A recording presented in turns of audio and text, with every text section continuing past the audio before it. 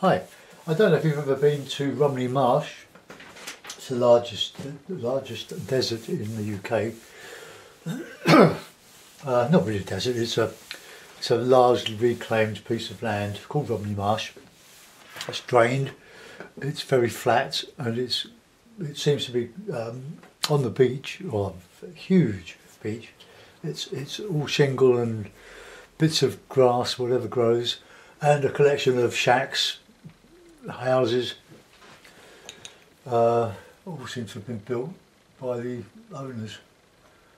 But anyway, it's right next to Dungeness B nuclear power station and it's a very desirable area for wildlife and, and uh, just the, just the joy of uh, the wide open spaces really. It's very popular as a, as a place to live even though these some of these are no more more than big garden garden sheds. Uh, and it was a very lovely day. We, we went there yes mm, yesterday morning. We were in Bexhills with friends for the weekend. I don't like to advertise the fact that we were away. So I haven't done any painting since last last Friday, Friday Saturday, Saturday morning. It's now Tuesday more, uh, afternoon. Oh dear, we. Uh, I started the car. It was going to be a very uh, cold night last night, so I thought well, I'd start the car and having not used it, I don't use it very much anyway. And the battery was as flat as a flounder. I'd left the side light on for side lights on for 48 hours, uh, flattened the battery. It's not the first time I've done this. So off we went, me and my pal in his car to Halfords, to get a couple of jump leads. His, his uh, uh, broken long ago. So we managed to get the car started, but this morning, after a very heavy frost, it, it hadn't charged up enough. So nothing worked. So jump started again left the car running and it's fine. We got back to London, no problem. But I've got a spare battery that I used to use for my camping trailer to run the the water pump, and uh, it's uh, working fine now. So I can you if I need a charge tomorrow morning when I start it, another cold night, I've got a spare battery that'll be fully charged. That should be okay. And then I have to change the battery. Right, okay. So enough about about that. I hope you enjoyed your holiday, your, your New Year celebrations, etc.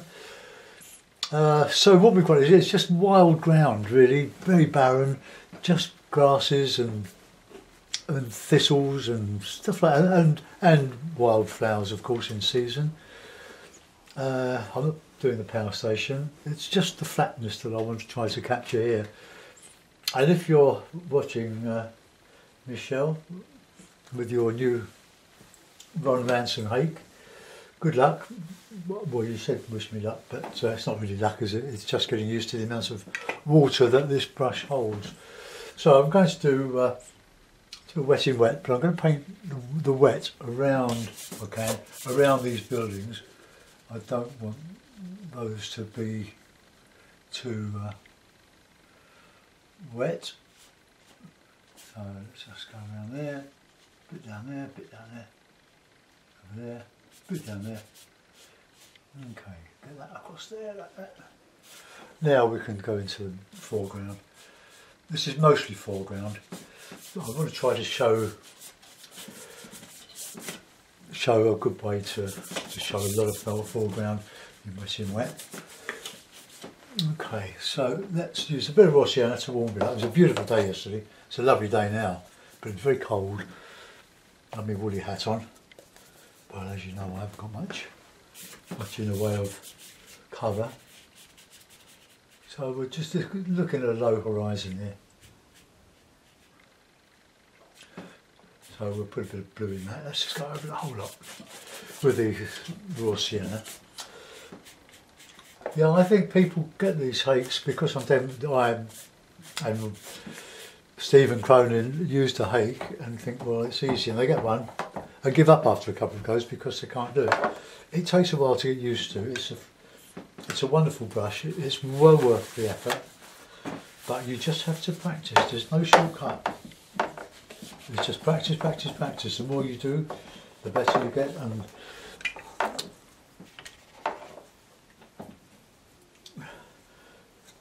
and the rewards will come. Right, let's put a bit of blue in this now. So we've got a bit, bit of nice blue. That'll do. That's just to try to show that lovely day. Now I'm going to put in a, a, a very faint warmish sort of colour. Now this is all shingle, right? but I'm going to show it as as uh, planes of, of grass.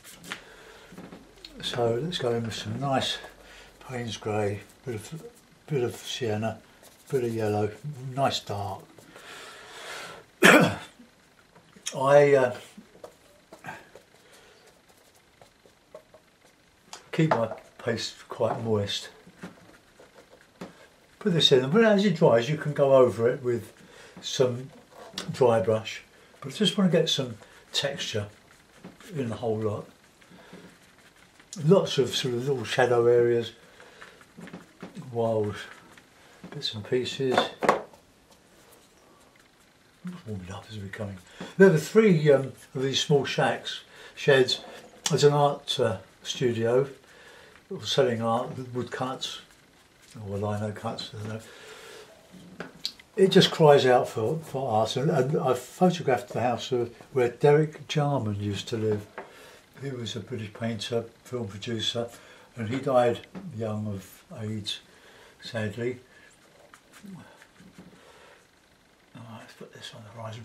Now, very near here, behind these houses, runs the the the Hythe Dymchurch to Dungeness B narrow gauge railway, which is an absolutely superb, beautiful we were sitting in a large cafe, it's all quite new, where the the final destination, so the train stops all the passengers get off and they've got this lovely cafe to go and enjoy some eats and we're giving away free mince pies, which over ordered for Christmas. Alright, okay, let's keep that going. It's all, all essentially green here, greenish, shadowy. But it's an amazing area. I've never been there. We, we've been on the other side in Folkestone, we camped there many times with our trailers. Wonderful. And and Bexhill many times because our friends live there. They used to live near us in Wallington, but they went to Bexhill.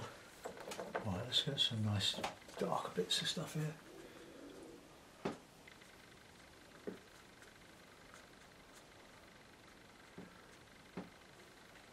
Right, this is, I'm going to let that dry a bit before we go over that with, with some more texture. So I keep it as simple as possible. Now the paper's a bit twisted. Let's just stretch it. I could try it with hair dry.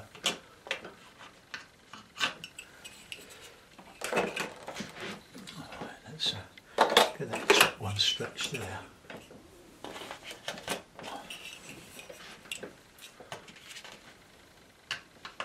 it. There's no need to, to pre-stretch your paper or shrink it. Okay. We've got a lot to to go on there, so let's let's let's put in some some of this. Scrape out some with a fingernail or plastic card.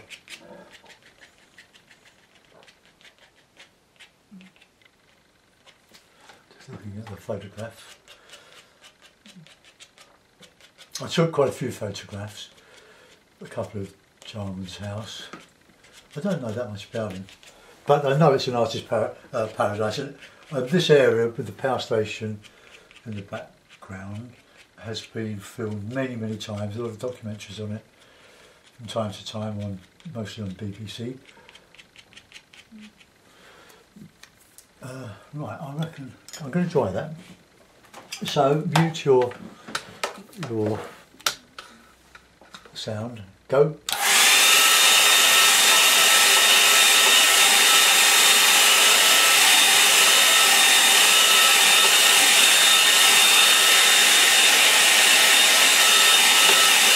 over the years, there's been a lot of quarrying for the uh, for the um, aggregate, the, the the shingles, pebbles, um, and there are some very very large, well, large by English standards, lakes from the quarrying quarrying. And it's, although it's flatland, it's very very good for wildlife, the birds, lots of uh, bird watchers. Uh, now these roofs, they're, they're sort of, mostly they're, they're, well, they're all sorts of shing, wooden shingles, they're asphalt type roofing felt. So I'm going to use a, I'm going to mix a bit of sienna and a bit of, bit of blue I think. And my brush, I'll just get a bit of water on the brush. This is an inch flat. So we'll uh, just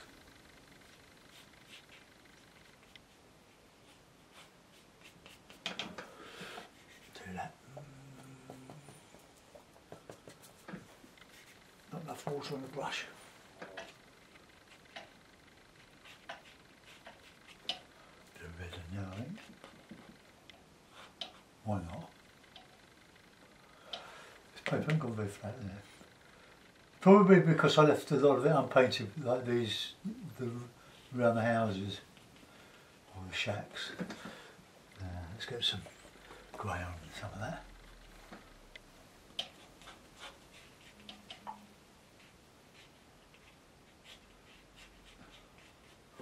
Okay, do for one. That's uh,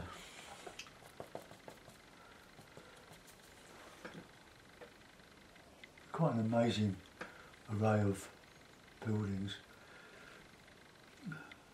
They've sort of just gone up, DIY. But they're not, I mean, they're, they're a very desirable place if you like remote living. I'm going to lift out some of the some of that for a window. Oh, let's get a nice reddy darkish. I'll lift the window. Yeah, I've, I've drawn the windows, but I'm going to lift them out. I think it might be easier to do. I'll put this bit of a, bit of shadow in there.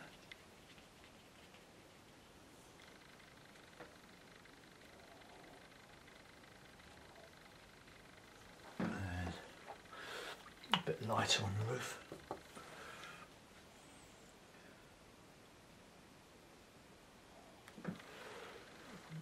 And there's a, a lighter one there. Let's put this other roof in here.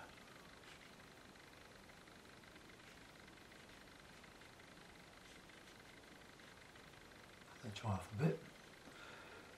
Like the sheds in front of sheds. Ah, get that more ready. There's a shed, sort of, I'm looking at a photograph, sort of a shed there with a slightly pitched roof. And then, difficult to see from the photograph.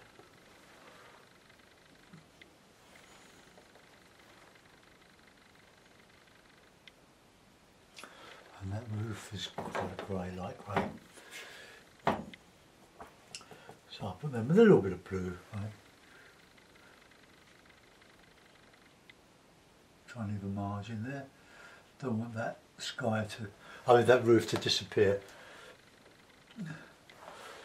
into the rest of it. So let's do that one there. So we'll have that ready.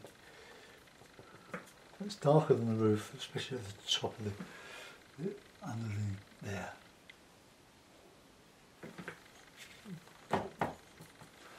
Right, let's just drag some of that down there.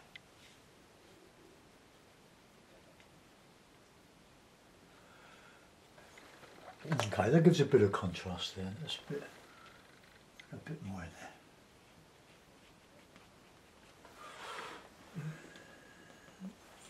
Right, so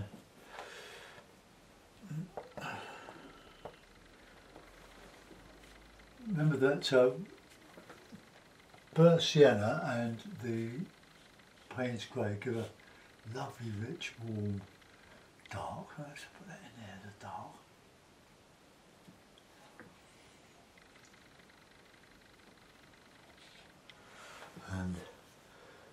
Let's have that dark there, I think. I'll use a different brush. I'll use my half, half inch. Uh, I'll try to make them look different, different in tone, although they're not really. But I've got to try to show the shapes. Let's make that one dark. So like a shed in front.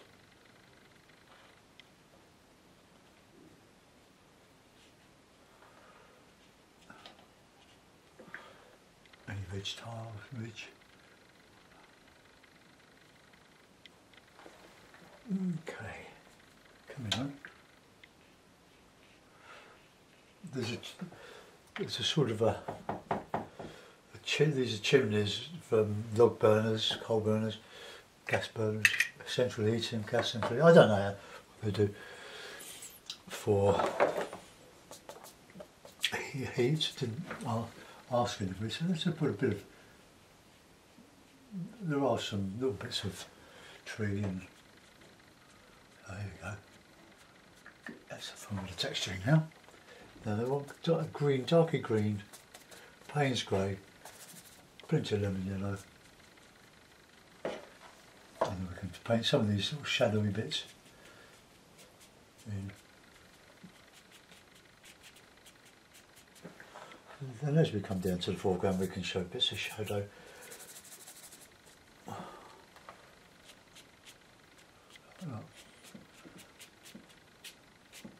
Just push the hake.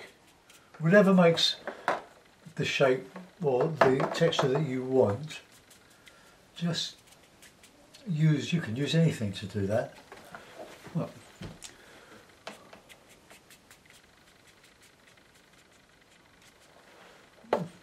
bit more wet, a bit more dark, a bit more warmy green.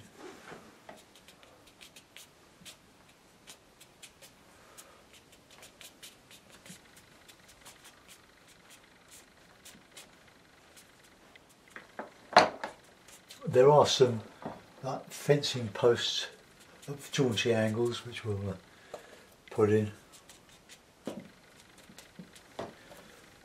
Varied colours. We're just creating an impression, not painting portraits of thistles or grass, we're just trying to create an impression to make it easy for ourselves.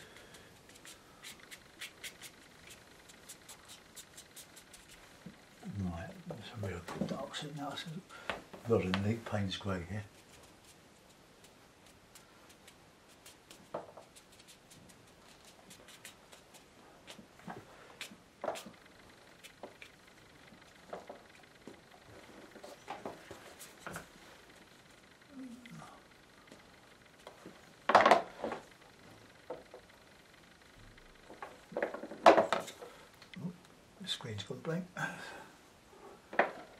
Th- we've got some nice shadow in here.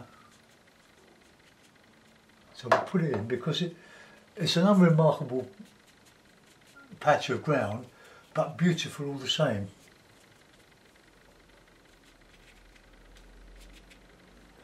Yeah. Put some lighter stuff in here catching a bit of light. Then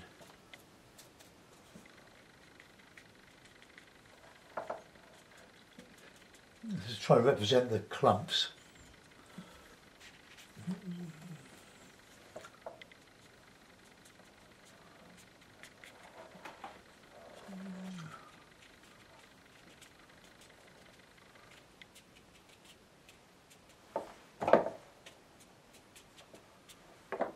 so much of it is just pebbly grasses, very uneven ground.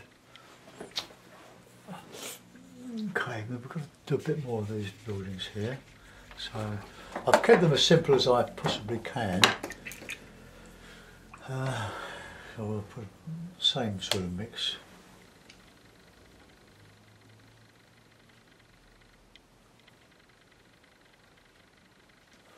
Okay, now um, there are also some telegraph poles. I'll get a bit of tissue and I'll just etch a little bit of that roof out there.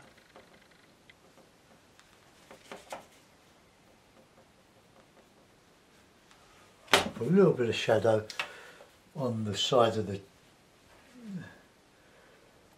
side of the um, metal chimney.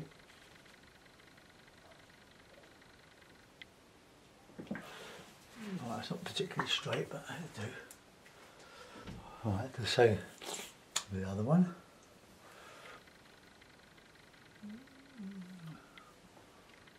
I've probably done that wrong side.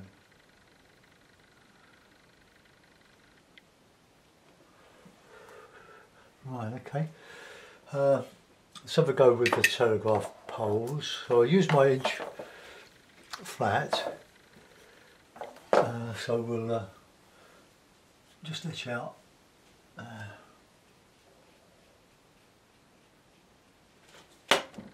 ah, that's gone badly wrong. Right, I'll have to repaint that. And then start again.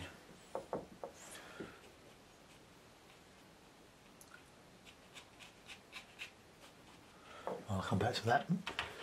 Uh,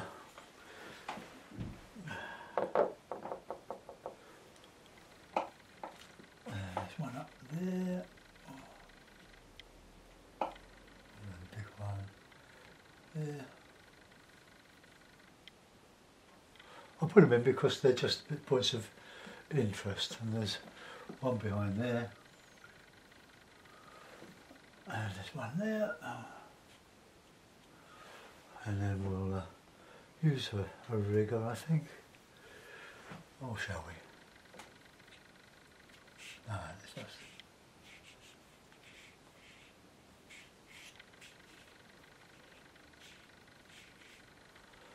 that one comes all the way up to I'll put this one in there and I'll etch it out in a minute so that one comes these ones come down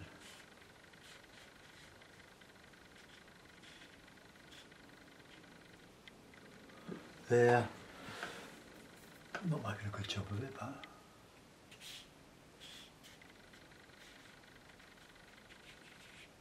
oops. Oh well. I'll be able to re- get rid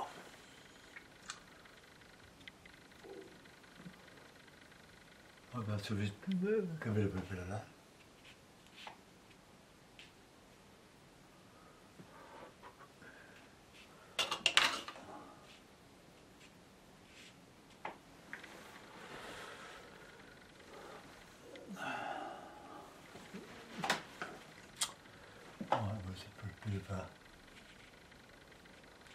this and that there. More I look at it, more I see. Going to do some windows and things. Uh, let's just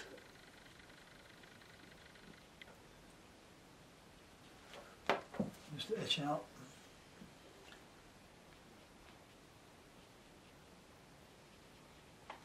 I'm guessing these a little bit. There's a door in here.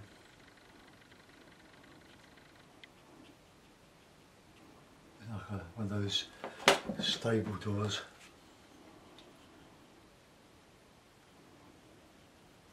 Uh,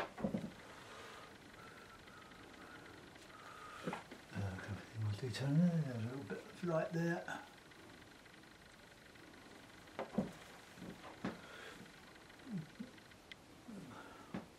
More tissue. That's not quite dry there.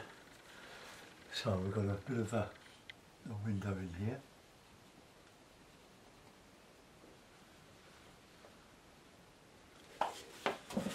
There.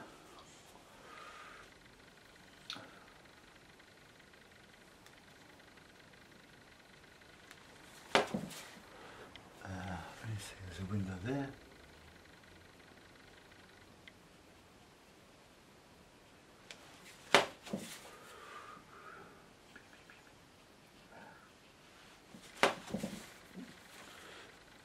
Uh, I've got, windows all over the place.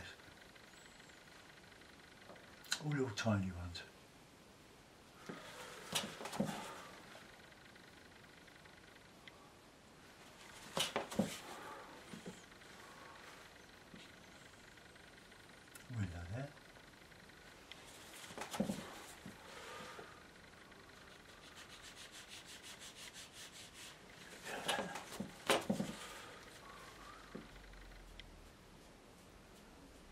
Don't know if I could have done that with a ruler really. Probably could have done it better with a pen, pen pencil. Alright, uh, put that. Some detail in here. And that shed there, there. Oh, just straighten that window up there. Okay.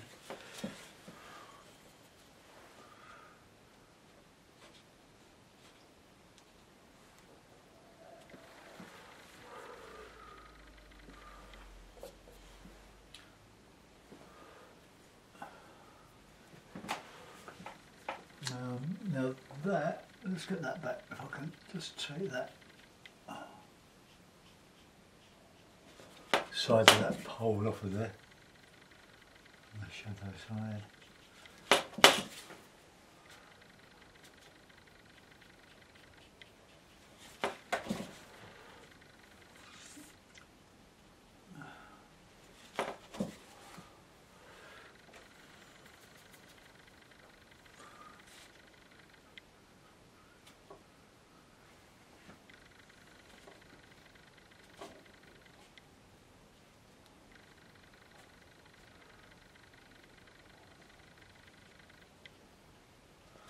Oh, I fiddled that one a bit. That's not very good, is it? Right. Uh, I've got some little bits of this one weird window in here.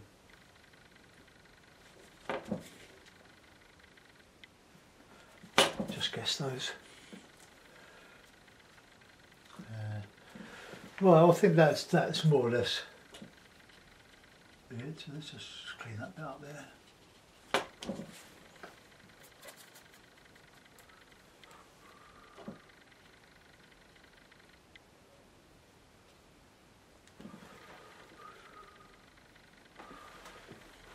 Okay. Right, now we'll put in some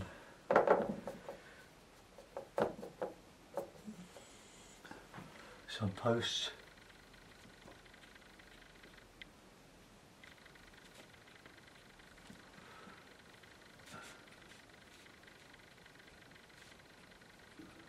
Probably been donkey's years. Um, Right, I don't think I can do much more than that. Could put some little bits of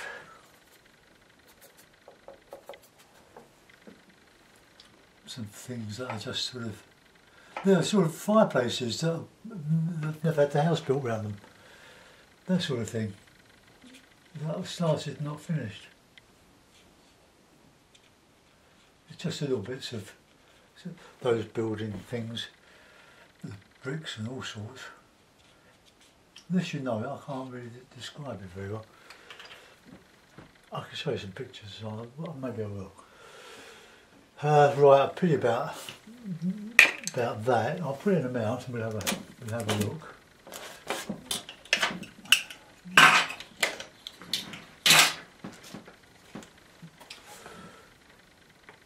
Right, okay. So. So oh, that wasn't too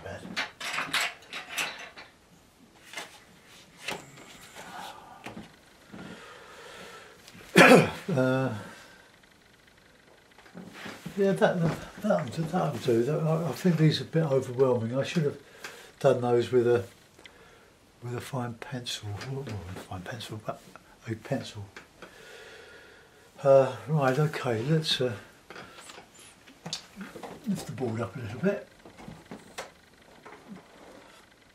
See what I've done, I've kept the detail to an absolute minimum. Let's wind this down.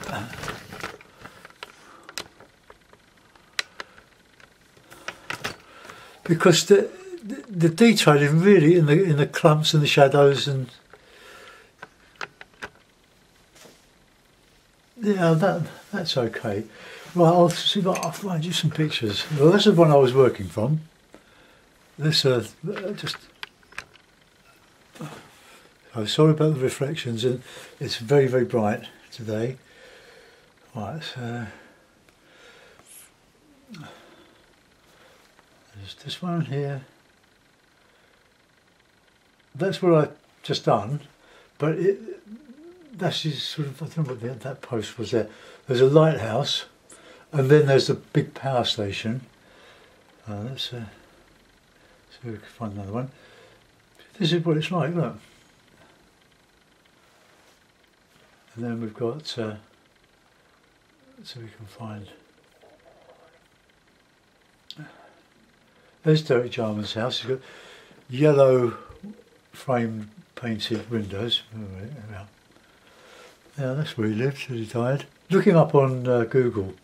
Derek Jarman, J A R M A N. he died, I think, 56. He was very young.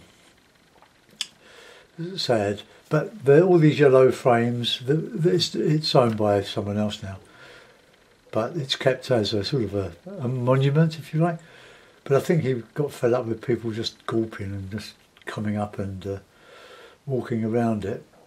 So, so there we are. That's it. That's uh, a little bit, a little bit of uh, of uh, Romney Marsh near Dungeness Power Station. Uh, an impression of a photograph I took 24 hours ago, 26 hours ago. So I hope you got something from that. Thanks for watching. Bye bye.